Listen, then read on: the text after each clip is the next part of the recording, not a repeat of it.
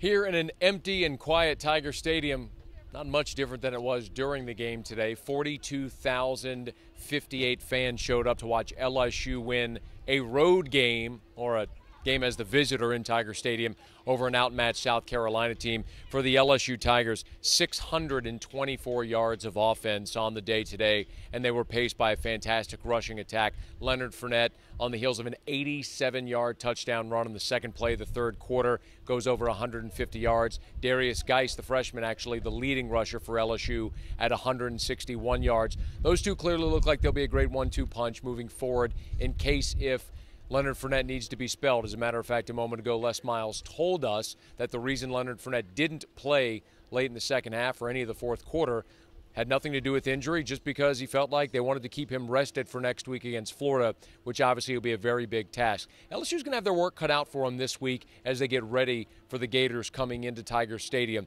They certainly have some defensive miscues that they have to clean up, and of course, allowing a kickoff return for a touchdown is something that isn't going to sit well in special teams this week. Kick coverage was a big point of contention throughout the game. The crowd actually sarcastically cheering at one point after LSU had a couple of pooch kicks, deciding to kick it late and try to cover the kick, doing so successfully.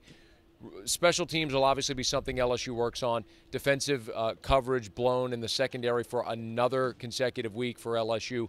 All things to work on this week as LSU prepares to host the Florida Gators. But the Tigers move to 5 0. They'll maintain a top 10 ranking, no doubt, and they'll have a massive showdown with Florida in Tiger Stadium one week. For the Tigers, status quo, another week, another win. The Tigers roll along at 5 0 on the 2015 season.